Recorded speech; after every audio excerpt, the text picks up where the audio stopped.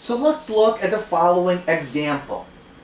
Let's suppose a cliff diver pushes off a cliff that is 40 meters high and needs to clear a 5 meter long batch of rock found at the bottom of the cliff. So we want to find with what initial horizontal velocity should the diver push off in order to clear this 5 meter long batch of rock found at the bottom of the cliff. So before we solve the problem, let's make a few assumptions. So first, we're making the assumption that there is no air resistance, and that means our gravitational constant, our acceleration due to gravity, is 9.8 meters per second squared. Now, we're choosing upward to be positive, downward to be negative.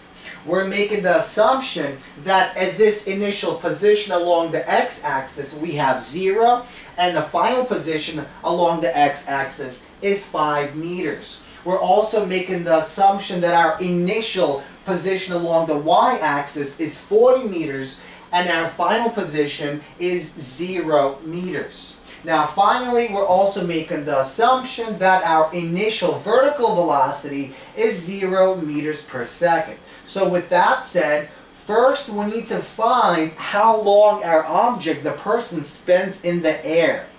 We can use that time to then solve for our initial velocity along the x-axis, our horizontal initial velocity. So let's begin with the first one. How long does he or she spend in the air? So let's use the following equation to solve for our time value. So we know that our initial uh, position along the y-axis is 40, our final position is 0. We know that our initial velocity along the y-axis is 0, so this term cancels, this term is 0, so we have 0 equals 40 minus, why is it minus? Well, because our gravitational constant, which points downward, is negative because we chose the downward position to be negative. So minus 1 half times 9.8 t squared. So we bring the 40 to one side,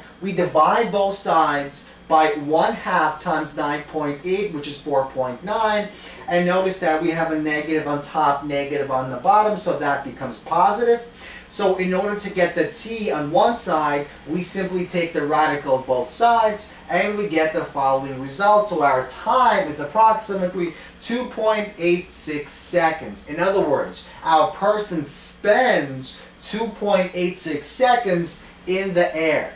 Now, knowing how much time they spend in the air, we can use this equation to solve for our initial horizontal velocity. So, since we have this 5 meter batch of rocks that need to be cleared, that means our final position along the x-axis needs to be 5.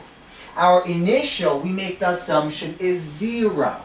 Now our initial velocity is exactly what we're looking for and our initial or our acceleration along the x-axis during free fall is always zero because we're neglecting air resistance. So this term cancels out, this term cancels out, and we're left with 5 meters equals our velocity along the x-axis, our horizontal velocity, multiplied by the time.